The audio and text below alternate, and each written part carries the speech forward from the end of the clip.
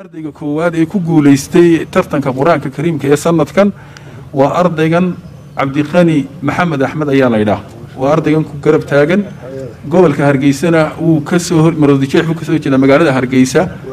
Dee waad guddoonsiin doontaa insha allahu tacaala. Maxamed bismi illaahi raxmaan raxiim alxamdu lilaah ilaahay waa mahadleh dhimco nabad roob iyo qur'aankii oo aan jeclsiisi bixinayno oo intanoo daayari xufaadood tahay waa ilahay mahdi.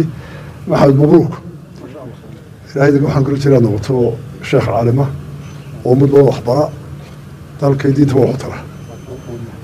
Waanu kugu dhiirayna waan kugu hambaryeynayna adiga macalimiintaadii iyo waalidkaa majirka tacabtay mabruuk bismi illaahi raxmaan raxiim assalaamu calaykum waraxmat ullaahi wabarakaatu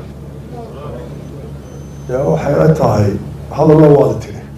Xalliga arka saaran ma gudato. Intaba caalimo sheekoo wada xafaado oo tafsiiro wada daaba oo fadhiyaalkan oo professor diineeda aanay xafladna tahay xafladii qur'aanka la qeybeyey jaisadiisii hadalyo banaanay la tahay. In badan baan meelo badan ka hadlaaya markaan.